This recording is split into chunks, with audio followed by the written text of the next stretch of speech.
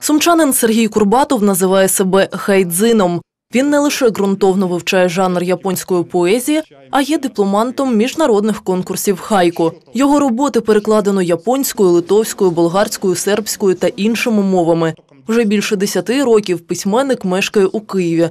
Втім, свою книгу під назвою Паломничество в страну слова автор вирішив презентувати саме на малій батьківщині. До збірки увійшли хайку та есе, написані письменником протягом 13 років.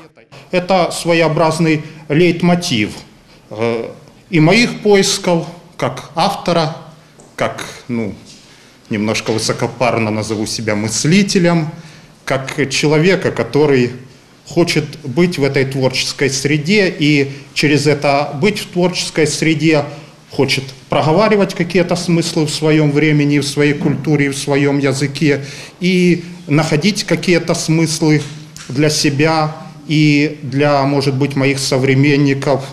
Лаконічно, влучно, по-філософськи. Саме за таким принципом пишеться хайко. Жанр поетичної мініатюри самобутній і в ньому використовується мінімум слів. Тож, наголошує автор, хайко заведено читати двічі. Под утро переходит в снегопад прошедший праздник. Под утро переходит в снегопад прошедший праздник. Привітати Сергія Курбатова із презентацією прийшли друзі, колеги та прихильники творчості майстра. Сережа обладает так- несколькими э,